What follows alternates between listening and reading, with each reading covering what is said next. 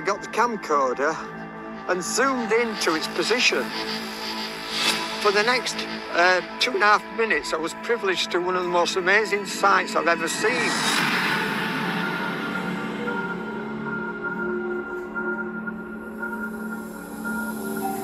As you can see from Gordon's footage, there is most definitely some type of large animal swimming across the loch.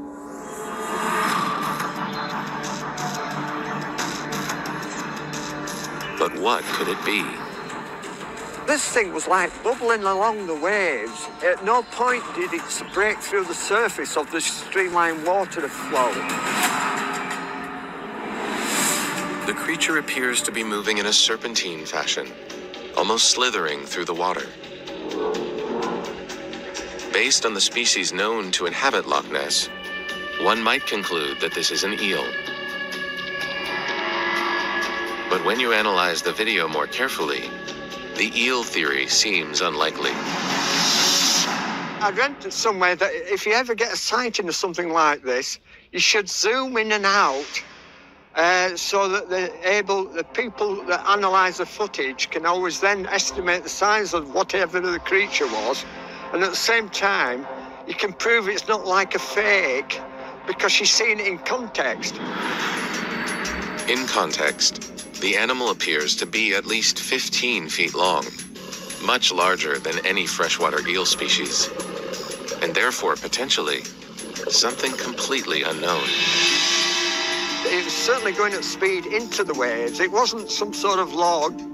This was a creature that had energy, it had power, it was thrusting through the waves. In addition to the creature's length, experts were able to determine that it was moving at a top speed of 6 miles per hour.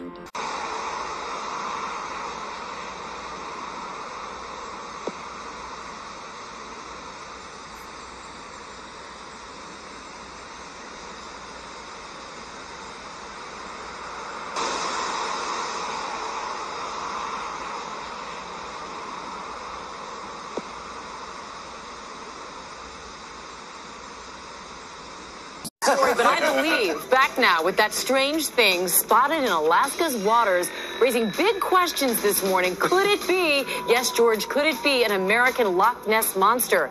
ABC's Gio Benitez is here. Gio, what do you think? Prove it, Gio. I agree with you, and I, I love that music, by the way. Listen, I'm not easily convinced by this stuff, but wait till you really look at this video. Many in Alaska wonder if it's the rumored relative of the Loch Ness monster. So on this Halloween, you decide.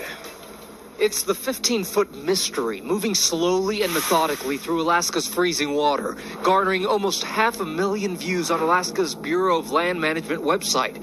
Locals asking if this is Alaska's own version of the Loch Ness Monster, the much talked about Chena Chomper. One visitor to the site believes Chena is back, writing, The Chena Chomper, it's back. It was like our own Bigfoot. Another finding the Halloween sighting spookily timed, speculating it could be zombie salmon. That's what I thought. Whether it's really a frozen rope, as one biologist suggests, a very cold fish, or a real life monster, the people of Alaska finding solace in the words of some Loch Ness local.